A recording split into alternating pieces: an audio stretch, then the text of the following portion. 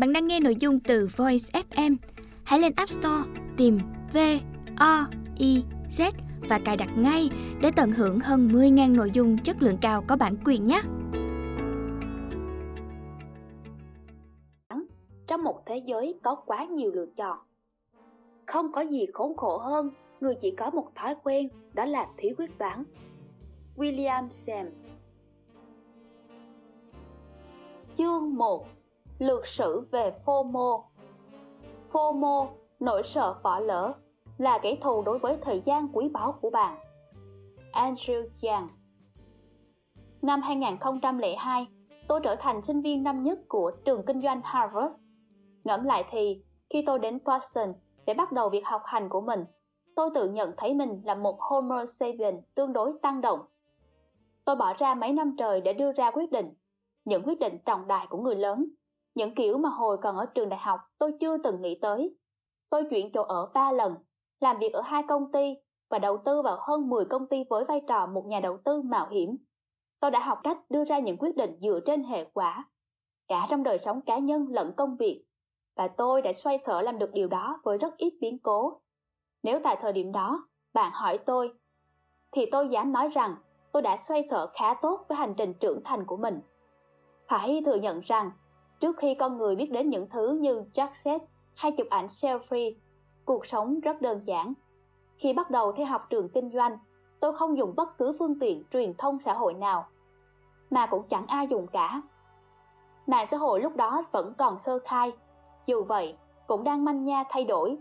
Mark Zuckerberg đang thực hiện phiên bản đầu tiên của Facebook ở nơi cách ký túc xá sinh viên của tôi chưa đến một dặm, dù khi đó tôi không biết. Tuy nhiên, ngay cả khi chưa có Facebook, Twitter và tất cả các mạng xã hội đã trợ lực cho hiện tượng FOMO hôm nay, thì vẫn có điều gì đó xuất hiện ngay khi tôi đặt chân đến trường. Một nỗi lo sợ dai dẳng đột ngột xâm chiếm lấy tôi, rằng bất kể tôi đang ở đâu, làm gì, vẫn có điều tốt đẹp hơn đang diễn ra ở những nơi khác. Đó là sự tác động rõ ràng mà môi trường mới đem lại cho tôi. Lần đầu tiên trong đời, tôi đắm chìm trong một môi trường có quá nhiều lựa chọn. Ở đây không gì là không thể. Đồng thời tôi cũng chẳng hy vọng mình có thể nắm bắt được dù chỉ một phần nhỏ trong số những cơ hội ấy. Tất cả những gì tôi phải làm là so sánh bản thân với bạn bè đồng trang lứa. Đa số đều rất hồ hởi khoe với tôi những gì họ có, để biết rằng mình không bao giờ bắt kịp họ. Hãy để tôi giải thích lý do tại sao. Trong trí tưởng tượng của tôi, cuộc sống tại trường kinh doanh Harvard giống như cuộc sống bên trong một trang mạng xã hội. Mỗi ngày ở đây bề bộn hệt như phiên bản thực tế của tổ hợp LinkedIn, Facebook, Twitter và Snapchat. Mặc dù lúc đó vẫn chưa có công ty nào trong số ấy ra đời. Bạn sống trong một bong bóng xà phòng tự phản chiếu, nơi thông tin được truyền đi với tốc độ ánh sáng. Nên những cuộc trò chuyện và khoe khoang của bạn, dù khiêm tốn hay không, đều trở thành đề tài được đem ra bàn tán. Những câu chuyện này có chức năng tương tự như bản tin trên Facebook story dí dỏm trên Instagram hay dòng tweet ác ý trên Twitter. Môi trường đó lại càng nuôi dưỡng một nỗi lo sợ lan tràn rằng bạn sẽ bị cho ra rìa trong hoạt động nào đó đang xảy ra quanh bạn, nhất là khi nó quan trọng hơn, tốt hơn và có triển vọng hơn việc bạn đang làm. Ngay cả khi tôi, bạn bè của tôi và bạn không thể gọi tên những cảm xúc đó, thì bạn vẫn phải liên tục đấu tranh với chúng có lẽ tôi đã phải chịu đựng cảm giác này nhiều hơn bạn bè của mình. Nhìn lại quá khứ, tôi thấy mình là một ứng cử viên tự nhiên để trở thành FOMO Sabian đầu tiên trên thế giới. Tôi lớn lên ở thị trấn Min nhỏ bé, chẳng khác gì những địa điểm mà bạn có thể bắt gặp trong tiểu thuyết của Stephen King. Chú thích Stephen King là nhà văn người Mỹ thiên về thể loại kinh dị hoặc giả tưởng, rất ăn khách trên khắp thế giới. Ông nổi tiếng với mô típ biến những tình huống căng thẳng bình thường thành hiện tượng khiếp đảm. Hết chú thích. Nếu bạn chưa từng đến đó, thì tôi sẽ cho bạn biết một ít thông tin về những hoạt động thường ngày của người dân địa phương. Họ ăn tôm hùm, họ đi dạo trên bãi biển, họ cào tuyết, họ đến LL Pins. Chú thích LL Pins, một công ty bán lẻ tư nhân của Mỹ được thành lập vào năm 1912 bởi Leon Leon Wood Pins Hết chú thích. Đó là một nơi tuyệt vời để sống và lớn lên, nhưng không phải là môi trường có nhiều lựa chọn phong phú. Cuộc sống ở đó tương đối dễ đoán, thậm chí còn thoải mái.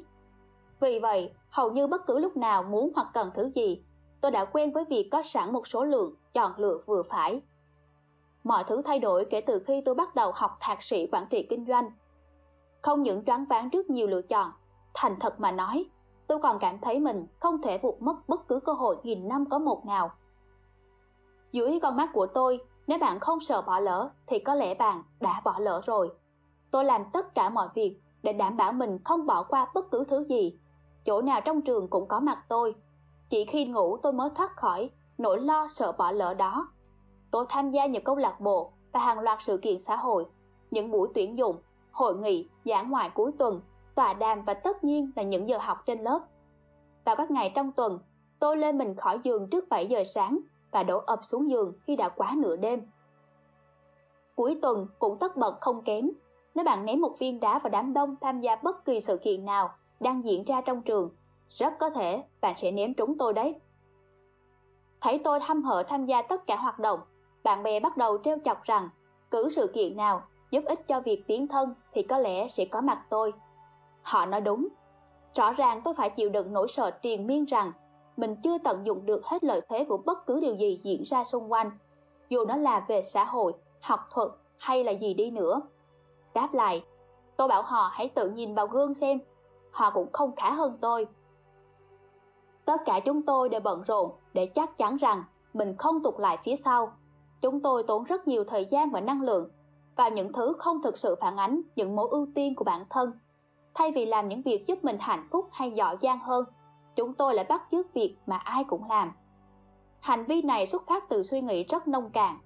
Nếu bắt đầu với tất cả, bạn sẽ chẳng cần phải cân nhắc thứ gì. Dù tôi và các bạn vẫn hay bông đùa về nỗi sợ này, nhưng thực ra đó là sự thật rành rành. Nó nhan nhản trong cuộc sống của tôi và bạn bè, đến nỗi tôi quyết định đặt cho nó một cái tên. Vì thường thích tự tạo ra những tiếng lóng và tốc ký, nên tôi đưa ra một từ viết tắt cho khái niệm này. Cụm từ Fear of Missing Out, nỗi sợ bỏ lỡ, được viết tắt thành FOMO.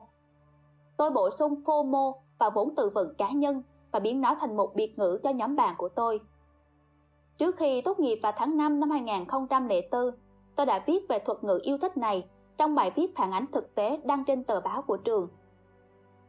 Chỉ trong khoảng 1.000 từ, tôi đã vạch trần nền văn hóa học đường tràn ngập FOMO Mặc dù bài báo đã trở thành một cú hit trong trường, nhưng tôi vẫn không hy vọng từ viết tắt này có thể tồn tại lâu dài. Thật ra, tôi đặt nhiều kỳ vọng hơn vào một từ khác, cũng do tôi vừa sáng tạo ra trong thời gian đó, Nick Incident. Tôi muốn rằng hệ thành viên nào trong gia đình tôi làm việc gì đó hài hước, tài tình hoặc đáng nhớ, thì người ta sẽ nhắc đến Nick Incident. Nhưng sau đó, FOMO dần dần phát triển một đời sống riêng dù tôi không hề hay biết. 10 năm tiếp theo, câu chuyện về FOMO và hành trình thống lĩnh toàn cầu của nó thật sự trở thành một việc Wikipedia đầy bản lĩnh. FOMO đã thống lĩnh thế giới như thế nào? Mặc dù lúc đó tôi chẳng biết chuyện gì đang xảy ra, nhưng giờ đây tôi đã có thể sâu chuỗi lại hành trình phát triển của FOMO. Từ phạm vi bạn bè của tôi, nó đã lan truyền đến mọi ngóc ngách trên trái đất một cách chậm rãi mà chắc chắn. Đầu tiên, Thuật ngữ này trở nên phổ biến đối với những người học thạc sĩ quản trị kinh doanh trên khắp nước Mỹ. Họ dễ dàng nhận ra khái niệm này rất gần gũi với bản thân mình và nhanh chóng biến nó thành một biệt ngữ phổ biến trong trường học. Năm 2007, The Business Week, nay đổi tên thành Bloomberg Business Week, nhận xét châm biếm như sau. Một dịch bệnh đã tấn công các chương trình thạc sĩ quản trị kinh doanh hàng đầu nước Mỹ. Tại trường kinh doanh Harvard, nó được gọi là FOMO nỗi sợ bỏ lỡ. Các triệu chứng của nó bao gồm cảm giác bất lực triền miên khi không thể từ chối tham dự tiệc tùng, các bữa ăn tối hoặc cuộc liên hoan nào có sự góp mặt của những nhân vật có thể tăng thêm giá trị cho mạng lưới quan hệ xã hội của người tham gia với bất cứ giá nào. Năm 2008, trong cuốn sách bán chạy nhất theo xếp hạng của tờ New York Times, cuốn Ahead of the Curve, Two Years at Harvard Business School, tạm dịch trước đường cong 2 năm tại trường kinh doanh Harvard. Tác giả Philip Del Frosten, người tốt nghiệp sau tôi 2 năm đã viết. ban giám hiệu nhà trường liên tục nhắc nhở chúng tôi rằng bí quyết để học ở trường kinh doanh Harvard là tuyệt đối không đầu hàng trước FOMO. Hãy lựa chọn chính xác việc bạn muốn làm và kiên quyết thực hiện nó. Đừng để ý xung quanh đang xảy ra chuyện gì. Tôi tự dập tắt cảm giác FOMO bằng cách đến thư viện đọc báo mỗi ngày, cố gắng giữ cho tâm trí tránh xa những ảo tưởng phù phiếm càng nhiều càng tốt. Nhưng FOMO luôn lì lợm đình rập, gieo rắc mầm móng độc hại và đầu óc mọi sinh viên. FOMO tiếp tục lôi kéo nhiều trường đại học vào vòng ảnh hưởng. Tháng 5 hàng năm, những FOMO Seven mới tốt nghiệp lại ùa vào thế giới, làm việc trong các ngành công nghệ, tư vấn và tài chính, vân vân. Khi đến những văn phòng trên khắp nước Mỹ và toàn thế giới, họ mang theo FOMO và lan truyền nó tới đội ngũ lao động chuyên nghiệp với phạm vi phủ sóng rộng hơn.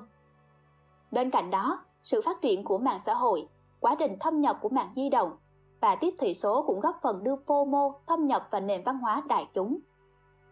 Mặc dù tiến bộ công nghệ là yếu tố không thể thiếu thúc đẩy FOMO lan truyền sâu rộng, nhưng tôi vẫn nhớ một câu châm ngôn xưa trong ngành tài chính. Tương quan không có nghĩa là quan hệ nhân quả. Trong chương tiếp theo, bạn sẽ thấy FOMO đã ra đời rất lâu từ trước khi điện thoại thông minh được phát minh và nó vẫn tồn tại ngay cả khi bạn không bổ sung thiết bị số hỗ trợ cá nhân Palm Pilot đời đầu và bộ sưu tập tiện ích của mình. Công nghệ ngày nay đã biến những cảm xúc, một phần rất nhân bản của loài người, bắt đầu xuất hiện từ thời Homo habilis, trở thành vũ khí sát thương. Những thiết bị điện tử đổ thêm dầu vào ngọn lửa đã cháy từ lâu và khiến nó bùng lên dữ dội hơn bao giờ hết. Trên thực tế, xét theo nhiều phương diện, FOMO là phiên bản hậu hiện đại của một thành ngữ cổ điển từ lâu đã trở thành một phần văn hóa Mỹ. Trở lại năm 1913, bộ truyện tranh Keeping Up with the Joneses, tạm dịch đuổi theo nhà Son, lần đầu được đăng trên tờ New York Cloud. Bộ truyện kéo dài nhiều thập niên, nội dung của nó là châm biếm nỗi bất hạnh của Aloysius, một người muốn leo lên nấc thang danh vọng cùng gia đình của anh ta trong cuộc chạy đua để theo kịp lối sống thời thượng của nhà hàng xóm, gia đình Sean. Nếu từng đọc bộ truyện này, bạn sẽ thấy đó là câu chuyện giống với FOMO nhất từng được ghi lại.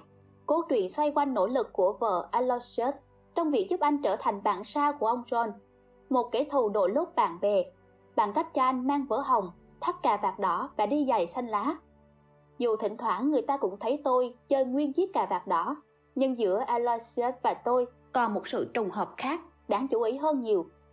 Tên đầy đủ của anh ấy là Aloysius P. McKinnis. Tuy tên của chúng tôi khác nhau một chữ N, nhưng rõ ràng Aloysius và tôi có rất nhiều điểm chung. Anh ấy là Mikin E đầu tiên mắc FOMO, nhưng chắc chắn không phải là người cuối cùng. FOMO nổi danh toàn thế giới Ngày nay, FOMO đã thâm nhập vào mọi tầng lớp trong xã hội. Nó không còn là vấn đề mang tính vi mô, mà đã trở thành nỗi khổ chung có thể ảnh hưởng đến bất kỳ ai. Để công nhận tầm tác động này, từ FOMO được đưa vào Oxford English Dictionary trong năm 2013 và 3 năm sau được đưa vào bản đầy đủ của Merriam-Webster Unabridged Dictionary. Không chỉ được mọi người sử dụng rộng rãi, FOMO còn lan ra toàn cầu. Rõ ràng, nó đã vượt khỏi phạm vi một hiện tượng ở Mỹ để trở thành tiêu điểm trên khắp thế giới. Trong vài năm qua, The Europeans của Tây Ban Nha đã đăng một bài viết châm biếm sự phát triển mạnh mẽ của thế hệ FOMO. The, The Time of Indian đặt câu hỏi FOMO có đang làm bạn hoang tưởng? Trong khi đó, bài viết Reformo nervous Martin Dictionary trên tờ Le của Pháp thắc mắc phải chăng FOMO chỉ là một căn bệnh của thế kỷ mới? Nhật báo Thổ Nhĩ Kỳ Daily Shabbat cảnh báo tên của căn bệnh này là FOMO, bạn có thể mắc bệnh đấy. Ngày nay, có hơn 10 triệu kết quả cho từ khóa FOMO trên Google và hashtag FOMO xuất hiện hàng trăm nghìn lần trên các trang mạng xã hội như Twitter và Instagram. Nó cũng được sử dụng rộng rãi trên những phương tiện truyền thông, quảng cáo, ứng dụng Fitmoji, tạo ra biểu tượng hoạt hình đại diện cho cảm xúc của bạn và vô số cuộc trò chuyện hàng ngày trên toàn cầu. Mời bạn lướt qua bên trái để xem hình 1.1. Mời bạn lướt qua bên trái để xem hình 1.2. Nói một cách đơn giản, FOMO hiện đã trở thành cụm từ nổi tiếng trên toàn thế giới. Được những người ăn xin, tổng thống và cả những thành viên nhà Kardashian sử dụng.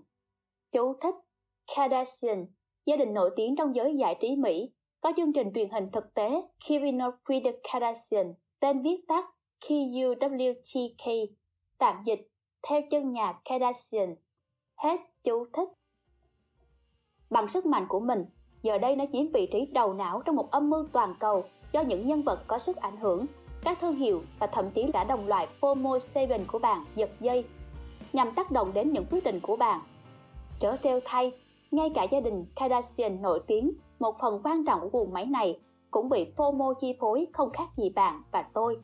Trong chương tiếp theo, bạn sẽ thấy hầu như không ai có thể thật sự thoát khỏi FOMO, ngoại trừ một vài tâm hồn vô cùng kiên định và không thể xuyên thủng. Hết chương 1 Lược sử về FOMO Bạn đang nghe nội dung từ Voice FM. Hãy lên App Store tìm V O I Z và cài đặt ngay để tận hưởng hơn 10.000 nội dung chất lượng cao có bản quyền nhé.